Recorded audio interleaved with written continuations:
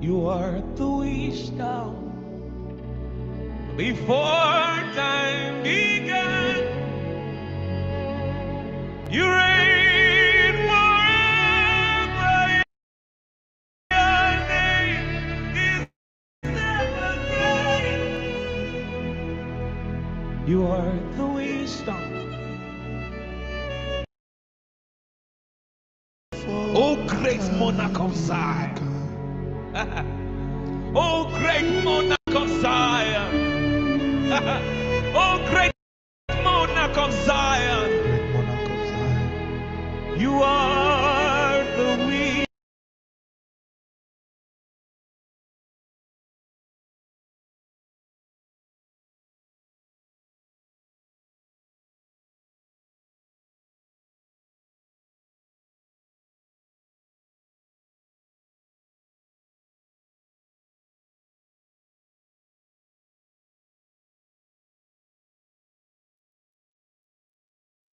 Good evening, everyone.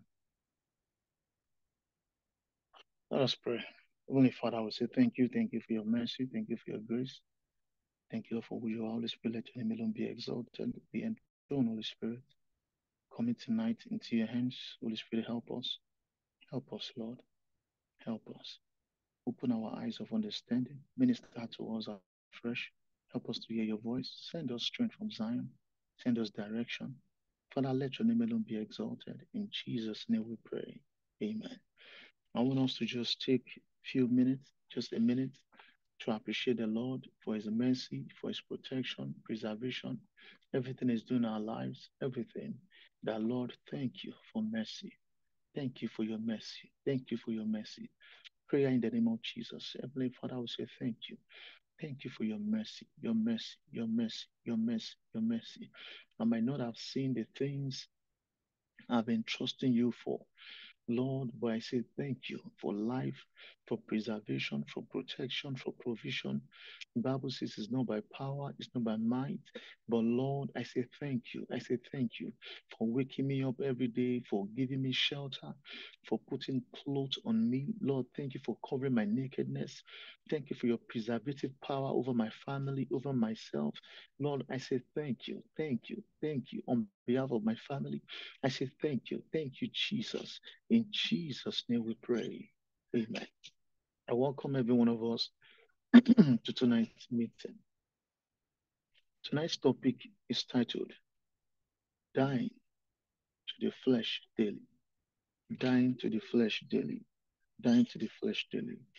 I want us to quickly open the Word of God to the book of First Corinthians 15, verse 29 to 31.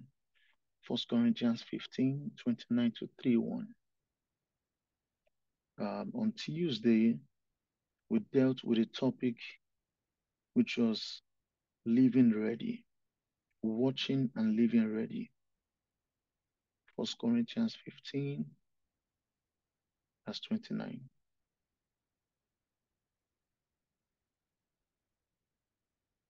It says, Else, what shall they do which are baptized for the dead?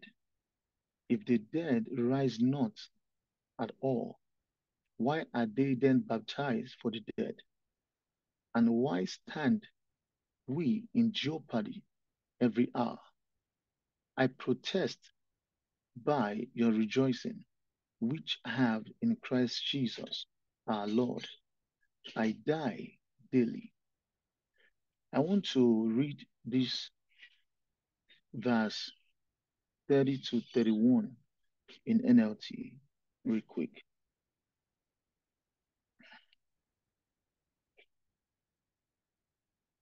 NLT says, And why should we ourselves risk our lives hour by hour? For I swear, dear brothers and sisters, that I face death daily. This is as certain. I want us to mark that word. This is as certain as my pride in what in what Christ Jesus our Lord has done in you.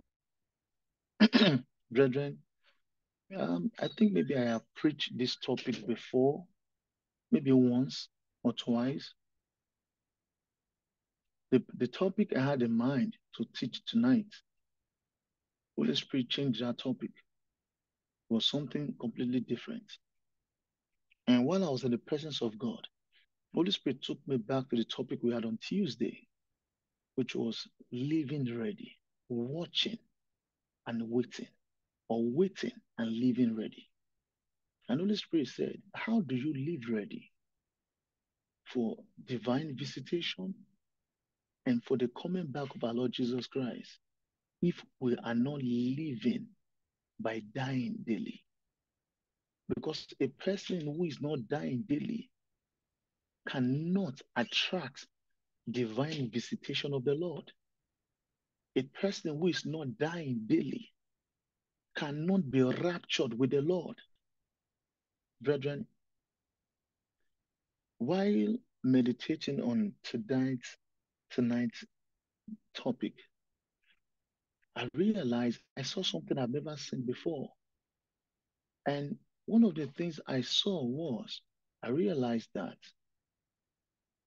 this journey of faith is actually designed or incubated with death in it. Meaning, if you look at the statement Apostle Paul was making here, I'm going to read that version again, verse 31. It says, For I swear, dear brothers and sisters, that I face death daily. Meaning that the Christian life is surrounded, is incubated with a life of death. There is no way a Christian will ever emerge into the image of God without dying. Two, we must know that this, this life of Christianity has been surrounded with death, different death from different angles. Death, one death is coming from the enemy to bring separation. Another is coming from God to bring emergence, to bring transformation. So every day, what I saw today while preparing for this is every believer must carry the consciousness that every day there will be things that will be thrown at us, either through the works of the flesh, either through circumstances, either through people to trigger death. Death, and you see, this death I'm talking about, I'm not talking about physical death. I'm talking about either death unto separation from God or death into the image of God. Living, dying to self, dying daily, dying daily. And we can see Apostle Paul swearing, telling us that these things, this is the life he, he, he experienced daily. A life that something is always coming at him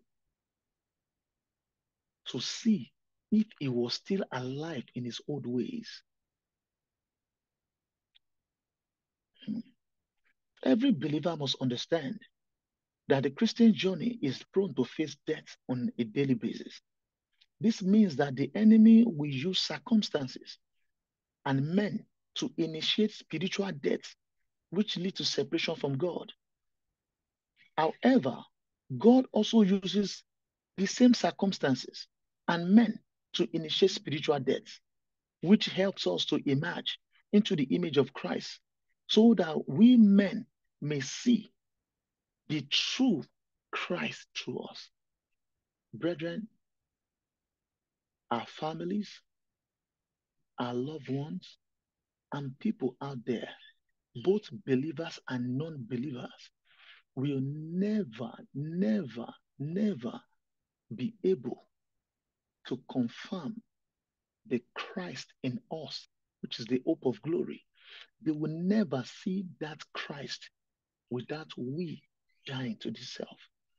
Without dying to the flesh daily, they will never see it. The only way Christ can be seen is only through death.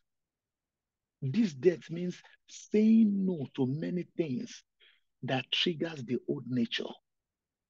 Let's quickly look at the book of Second Corinthians chapter 4, from verse 10 to 12. 2 Corinthians chapter 4, from verse 10 to 12.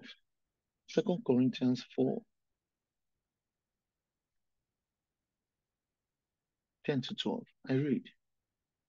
Always bearing about in the body the dying of the Lord Jesus, that the life also of Jesus might be made manifest in our body.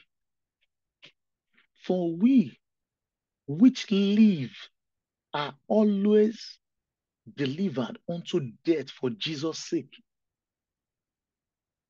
I want to read that verse 10 again. I want you to follow me sequentially.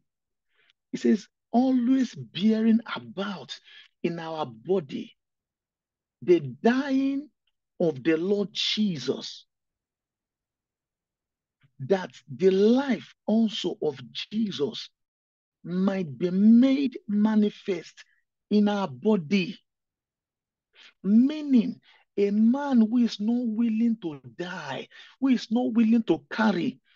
If you if you read verse one, verse ten again, he says, "Always, not once, not not thereabout, always bearing about in the body, the dying."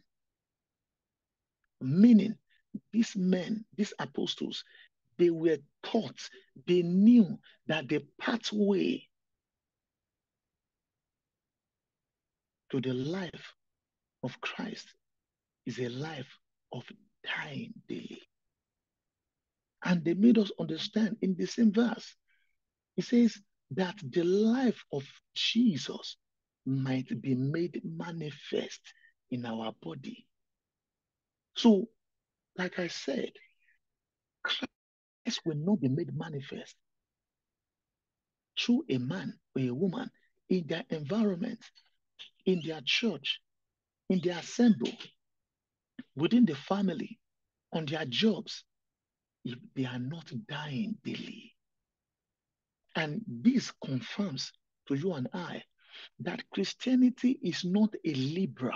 It's not a liberal, you know, uh, um, like people say religion. It's not even a religion. It's not a religion. It's a way of life. Brethren, there are restrictions. There are conditions to this life. Verse 11 says, For which, for we which live are always delivered unto death for Jesus' sake, that the life also of Jesus might be made manifest in our mortal body. These men have been used to a life always, they are always being delivered. The same way you and I are also always being delivered to death. Every day, lost knock on your door to deliver you to death. Every day, Jesus also is knocking on your door to deliver you to death. Fast today. Forgive this person today. Apologize to this person. Because either both ways, God or the devil, both of them are initiating death daily. And that depends on who you want to yield to. One is telling you, chase money, chase this, suspend God. Their death is knocking on both sides daily. One, like I said, one is to bring separation, like what happened to Adam. The moment God told them point and clear. The moment you eat this fruit, you will die. And guess what? He died, yet he lived many hundreds of years. He died completely, meaning he was separated from God. The same thing is still happening to today. Verse 12. So then, death worketh in us, but life in you. Meaning, the only way the life of Christ can be activated, can be effective, can become valid and significant to all men is through death. Men will never, never. That is why go and observe people that made serious mark in the Bible. They were men and women who were willing to die to self for them to show forth their loyalty and their faith to God. Go and check history. Men and women who wants to live the comfort zone, the comfort life, the life they want, not the life God wants. You see, every Christian must understand that when we subscribe to this life of Christ through salvation, we don't have a will anymore. We don't. Because we must remember that we have been bought through a blood. There's an exchange. So, because he has paid the price through his blood, now we have become a servant. We have become a child. Just like my children now, I dictate, my wife and myself, we dictate the rules in this house. They can't dictate for us. The same way we can't dictate to God. However, the devil initiates different thoughts in the heart of many. Unfortunately, we also have the wrong people on the altar who are also misleading people. Not letting people know that your life will be regulated.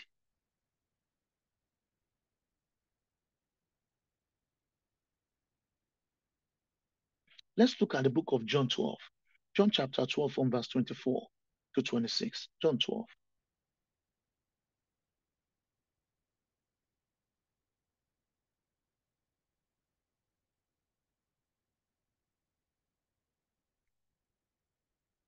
Verily, verily, I say unto you, except a corn of wheat fall into the ground and die, it abideth alone.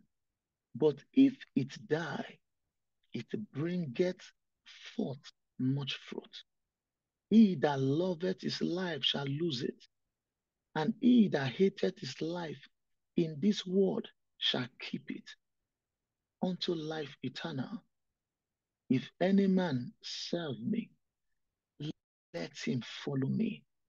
And where I am, there shall also my servant be. If any man serve me, him will my Father honor. Brethren, the Lord wants us to be with him. But to be with him, you see how he ended that verse in verse 26. The Lord will honor him. The Lord, the one that serves him, he shall be with the Lord. But for him to be with the Lord, he must be willing to die. Even for Jesus, Jesus, who now became the Savior, who came to save, he had to die to buy us back into life of eternity. The eternal life could not be activated until, until he surrendered himself as a token of sacrifice. He gave up himself. Brethren, there can be no true life without death. I'm going to repeat that again. In this Christian journey, I say this with all humility, brethren, men and women who walk around us, who live around us, they will never see the true image of God until they see a man who is dead. The only way the Holy Spirit is activated to all men, the only way the Holy Spirit come alive at its full, the fullest potential is through death. I'm telling you, like I said, I'm not talking about physical death now. I'm talking about death to our own desires, death to the things that are trying to overthrow the will of God, death to pride, death to anger, death to rage, death to backbiting, death to unforgiveness, death to many things. Brethren, it is very important because if you look at it carefully, because this corn from agricultural perspective,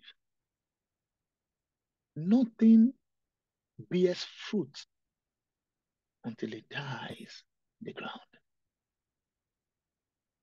The same way in the kingdom. In the kingdom. I've shared this story with you and I before on this platform at the Garden of the Eagles. Think about this. The Bible says, the Bible told us in John chapter 1, verse 1. He said, In the beginning was the Word, and the Word was with God, and the Word was God. Talking about Jesus. The same word, the same word. He said, This word has, let's go to John chapter 1. John 1, verse 1. I'm going to read from verse 1 to 3. He says, In the beginning was the Word, and the Word was with God, and the Word was God. The same was in the beginning with God. Verse 3 now says, All things were made by Him. Look at the transition. The transition moved from the Word to Him. They now went deeper. This man, Him, was a co creator. Everything was made. How can the creator, the creator, he got to he got to the mountain of transformation with Peter, James, and John. He prayed to the point his garment become glistering. He go to Gethsemane. He prayed to the point, brethren. Oh, oh, Holy Spirit, help me. The day this man was born in Bethlehem, angels came. Legions of angels came. He told Pilate Pontius, he said, if I needed to call on legions, they will respond.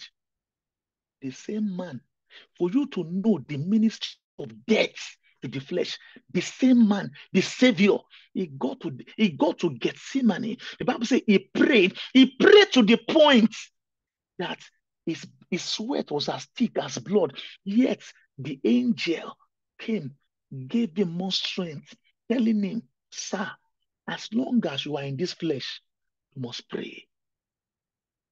Now, not only praying, he gave him strength to now pray more because what it was, the measure at which he was praying, he has not acquired what measure he needed to go to the cross to die with. For him to die on that cross, he needed a higher measure of strength. And for him to acquire that strength, he needed to pray. Rather, for the angel who is supposed to help him remove it, he came and showed us a revelation. He said, Sir, you have to carry this cross by the measure in heaven, by the scale in heaven, for you to obtain all you needed to die on that cross. Your prayer must get to this measure.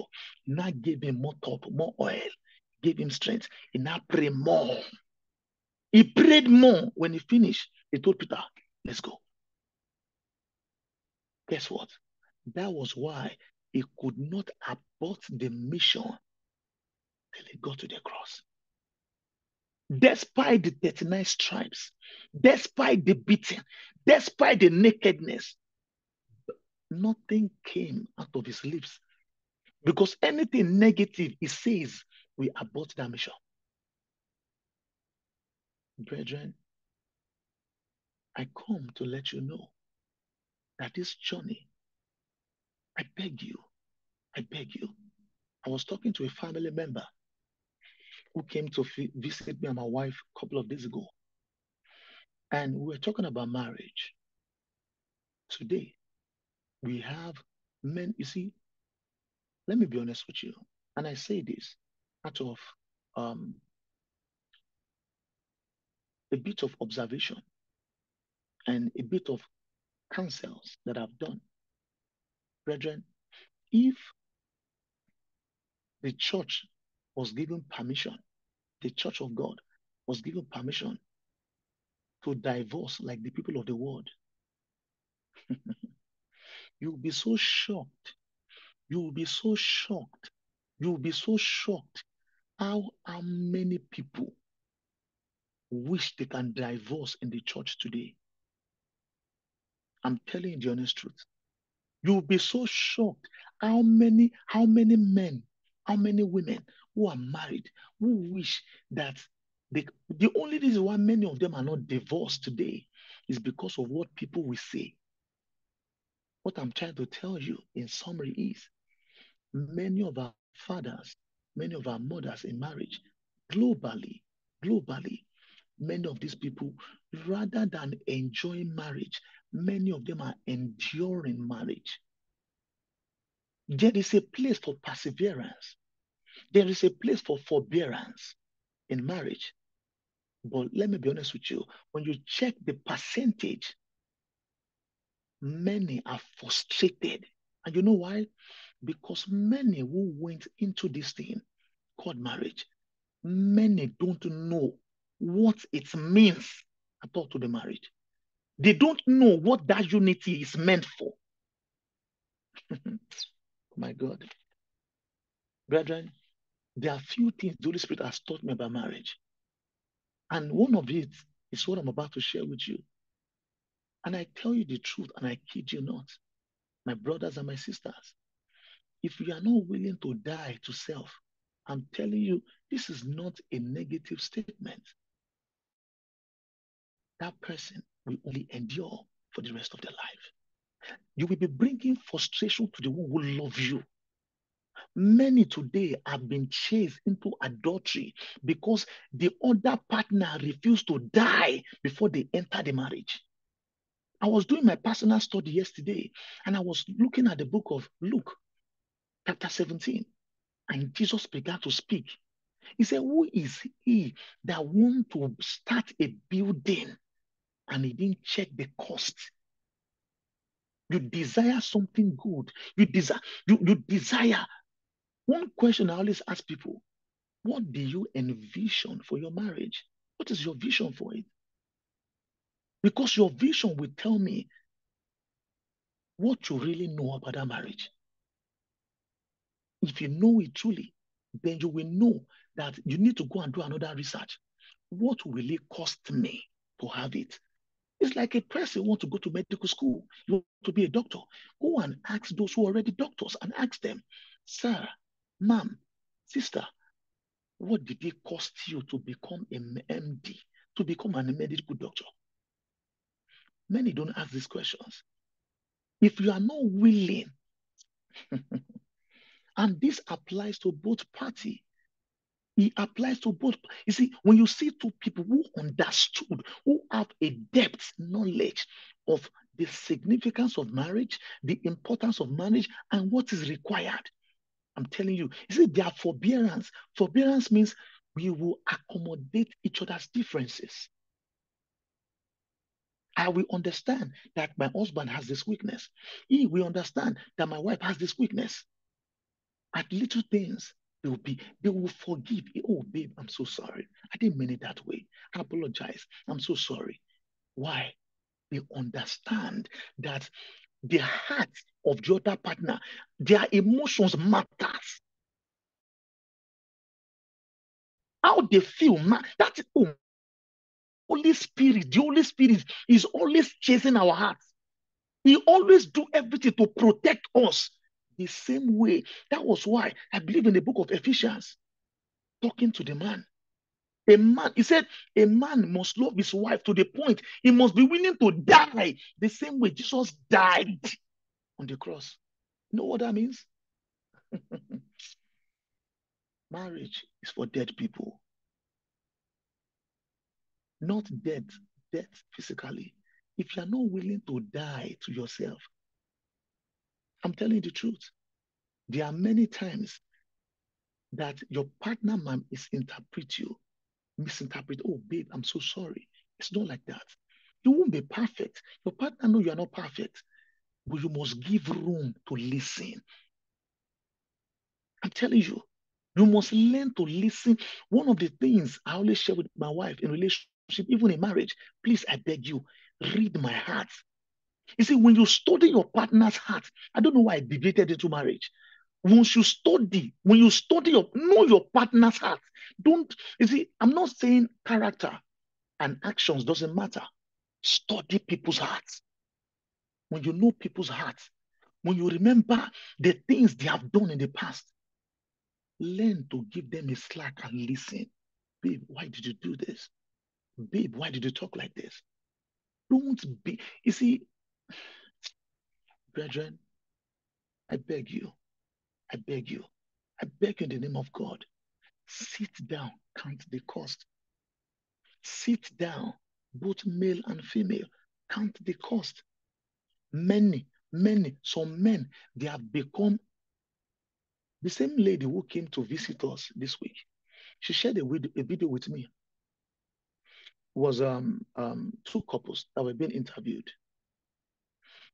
Asked, "Oh, okay, thank you, Holy Spirit."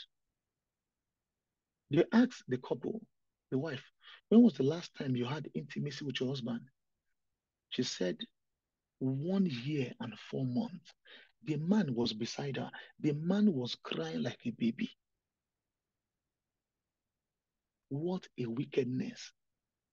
The man was crying, sobbing like a baby. This statistics shows this a lot. When women are offended, women deny men more intimacy as a punishment.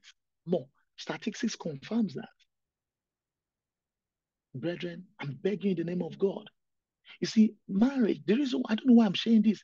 Marriage, you see, marriage is like a person becoming a pastor. It's a big ministry. Oh. Ministry in the sense that God wants to establish another kindred, another generation. He wants to raise another offspring through you. It's a ministry on its own. When you understand it, hey, you will know the price it cost. It's a lot. I'm telling you the truth. I was talking to a friend of mine today. He called me about this evening. I said, I feel like I've never had a baby in my life. Even though I'm not the one shouldering most of the breastfeeding, it is my wife who is breastfeeding. But the way my life is sometimes, brethren, please, I want to encourage you. Keep working on yourself. Many have taken a good lady, a good lady, because the man refused to work on himself. He refused to, to die to the flesh, to develop himself, to discover himself. Now the man has acquired a gentle and innocent lady. Now the innocent lady has become very frustrated. Frustrated. You, you can't imagine how many men are addicted to pornography because of the frustration from their wife. You can't imagine how many women are thinking of having sex with another man on their job. They can't just do it because they are Christian, but they are thinking of doing it because another man has frustrated them. Please, I beg you. I beg you. I don't know why I went this route. This is not part of my this is not part of my curriculum tonight. But please, I beg you. I beg you. I beg you. Do everything. Do everything. I'm not saying you should support evil with your partner. I'm telling you, my wife is here. I give my wife liberty to hold me accountable anytime. Anytime. There are times I want to take some decision. My wife will tell me, babe, you cannot. You cannot. The same way when she wants to do some things, when she does some things, I bring it politely. If you observe that you're correct and your tone went off, there are times we talk off and your partner tells you, calm down, apologize.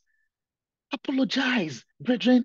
You see, I wish our churches, our churches globally can really teach the church, the church of God, the power of apology, the power of humility, the power of, I'm so sorry. I'm so, I was telling the person who came to visit me, I said, How come we apologize to keep our jobs, but yet we can't apologize to keep the souls of men among us? When I first came to this country, one of the things that touched me the most, the first day I saw rescue animals. Holy Spirit told me, Holy Spirit said, My son, can you see how far men, the extent men can go to rescue animal that doesn't have the life of Christ? I have watched some some extreme, as in people will go extreme risk, big risk to rescue. How many of us are willing to take risk to rescue the life of those we love back? Yet we proclaim we love them. How do you say if you love someone and you cannot apologize? How do you say you love someone and you, you cannot, you, you, how they feel, it doesn't really matter to you until you are satisfied? How? How do you call that love? If I offend my wife, my wife is here. If I offend my wife, believe me, I choose. You see, the journey to apology, it wasn't easy. I took this route before I was married. Years ago, I would tell God, God, help me to learn to say sorry. Help me. Because how do I stay in the presence of God? And some days, if I keep saying sorry and she hasn't settled, then I come to God. Holy Spirit, intervene. I'm giving you secret though. When you observe that something is not working, go to the Holy, Holy Spirit. Please intervene. Bring peace in this thing. Please intervene. And within hours, or maybe a day or two, Holy Spirit will minister. Me, I can I can surrender anything for peace. I'm telling you, if I if I give you my rent money, I borrow you money, and I don't have money to rent, money to pay back, or to pay my rent. I'm, I I say this online because it's being recorded. I'm telling you, I will never fight you. I won't even I won't even scream. I'll just tell you politely, this is going to be the end. I won't borrow you again. I don't know anything fight, anything. Because the moment I gave my life to Christ, I used to work with gang. This man you are looking at, brethren, I can call police on myself. That is how much tension I can be. Back in the days, if I get upset with someone and it turns to fight, I will call the police myself. I don't like to run for things. People are running. I've been through, believe me, I've been through some terrible things. The person is here. He, he has been to my campus. He has been to my house before. He's online right here. The day they arrest me in chains, they bound my legs. All the gang member, everybody ran away. I didn't move an inch. I don't believe in that. Brethren, please, I beg you. I beg you in the name of God. Let men, let women, let them bear witness that, ah, this person, is something. I read something yesterday online and it touched me. It touched me. That, in paraphrase, the saying was saying, when people come across you, will they feel the tangibility of God's image? When people ask about your name, what do they remember the most? Do you lead people with negative memory or you lead people with joy? That when people remember your name, all they can remember is, ah, I can't wait to be around this person. There are many handsome brothers today, many handsome, many beautiful sisters today. They are the one hindering their own blessings. Many have thwarted, threw away their own blessings. Why? Because they refuse to know what it costs to wear a crown. The pathway to the throne is death. They can Minister Dawson just released that song. The pathway to the throne is death. There's no cross without sacrifice. Brethren, I want us to move further. This means that we must be aware that the pathway to the throne is death, and the pathway to the glory of this world is also death. When the enemy wants to give you glory of this world, makes you to begin to compromise unto death.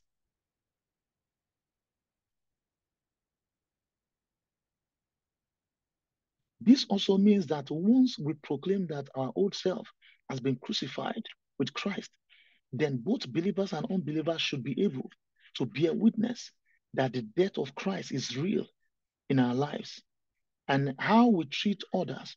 Let's look at Galatians 2:20. Galatians chapter 2 verse 20.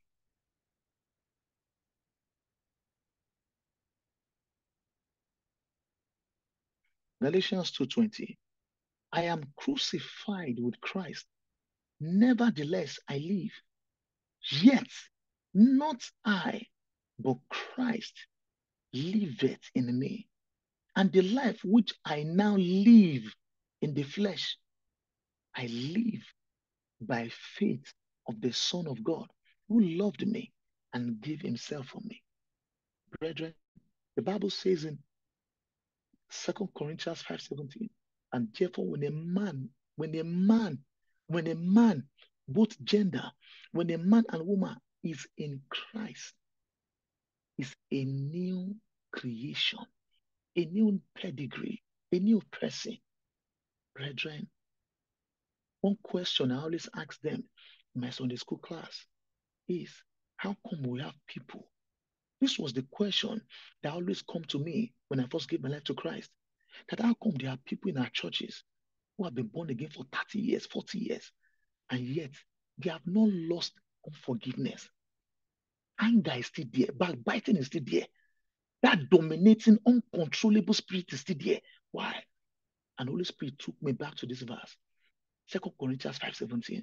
He said, and therefore, when a man is inside, when a man is locked up inside, many people are not locked in. That is why we can't die. It will take a man who is locked when a man is in Christ. When a man, if you read the book of John, John 15, let's go to John 15 real quick. John 15 from verse, I'm going to read from verse 3.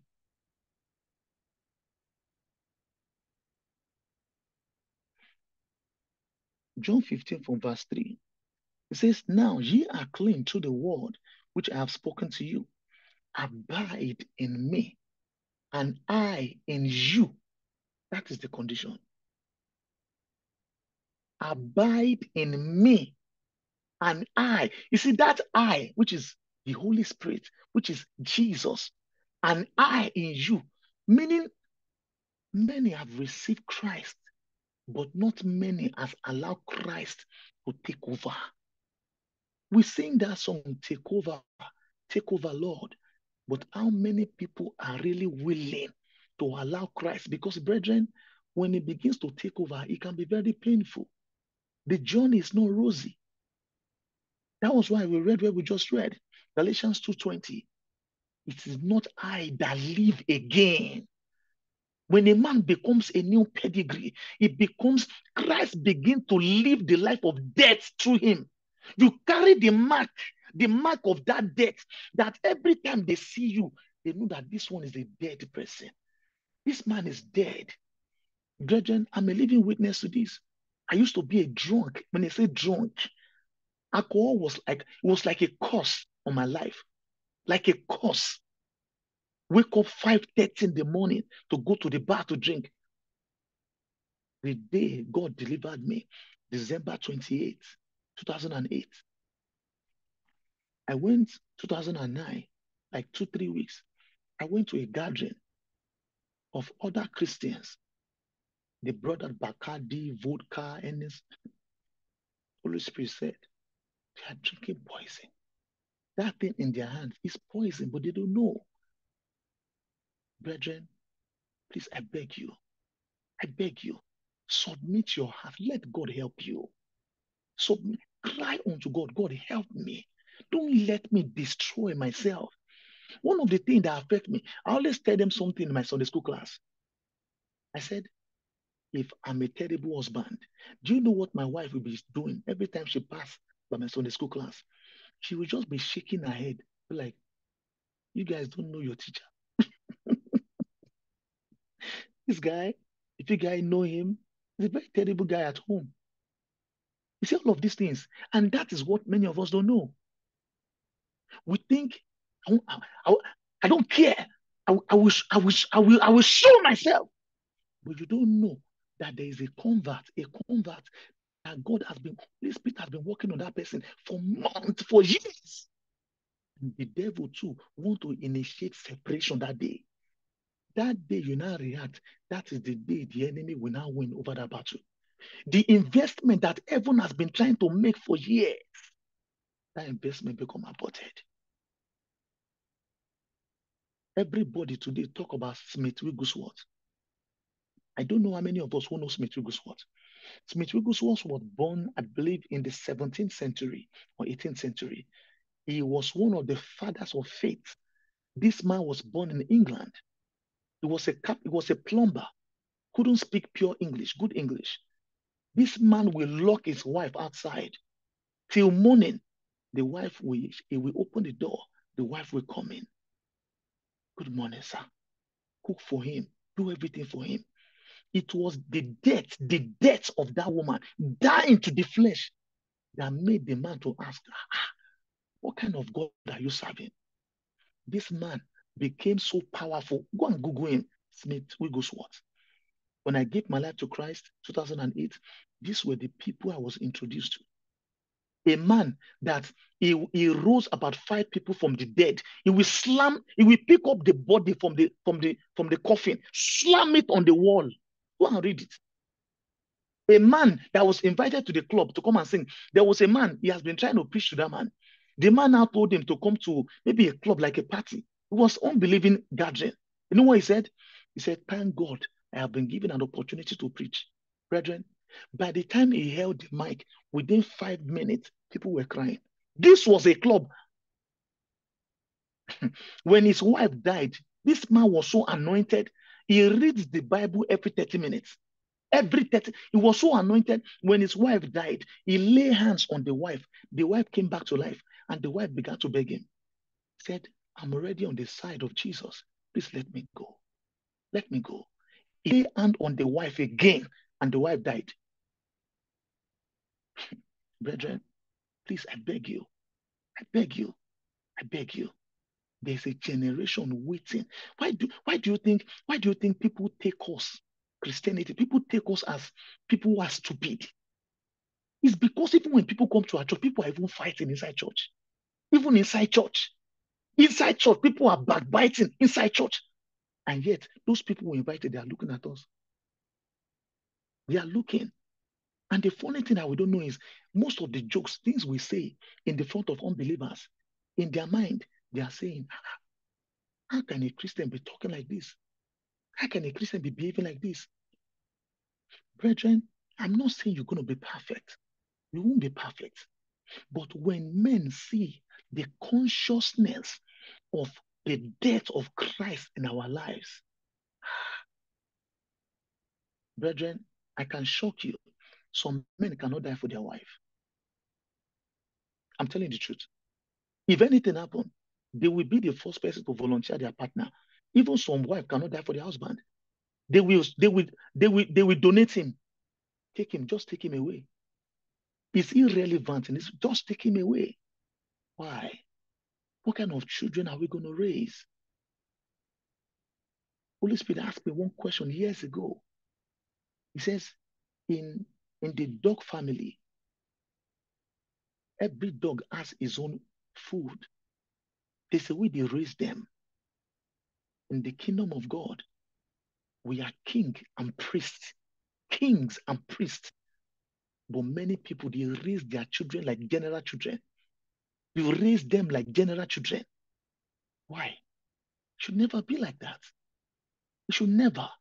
We should raise children like kings, like prince. We should raise them special.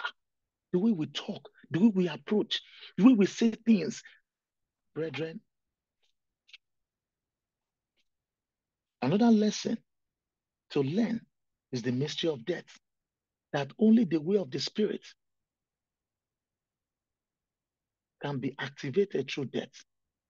The way of the spirit, the way where the spirit of Christ in us can be seen evidently. Look at example, Shadrach, Meshach, and Abednego. Look at Daniel in chapter 6. Look at Joseph. Look at Joseph. Look at all of these guys. They, I kept looking at that life of Joseph.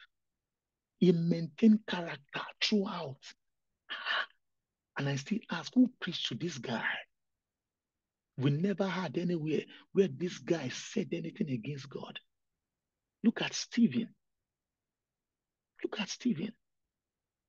Stephen was still begging them in the book of Acts, telling God, Jesus, God, have mercy upon them, for they know what they do it. Another lesson to learn from this story of the mystery of death is that the real lasting victory starts from the moment we choose to die daily. Brethren, if you don't remember anything tonight, one thing I want you to remember today is the victory of every believer starts with death first, not with the enemy first. The victory of every believer starts with dying, dying to you first. Many of us saw the video that went viral from James from the prayer storm in UK about the man who was who was into witchcraft from the age of two, was married to a woman of 60 at the age of two years old. The guy, I listened to that man of God, and the man of God said, how it trains people to be able to deliver themselves from every battles of life is you must become consecrated. He said, while he was in witchcraft and occult, occultism, he said the only believer that an enemy cannot bring down is a believer that is dead to self. Consecration. Consecration means separated to die to the things of your own will. Brethren, as we round up to pray, I want us at our leisure time to go and study the book of Colossians 3 1 to 10.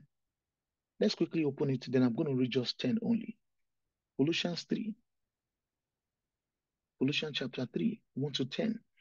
But I will read just 10 only.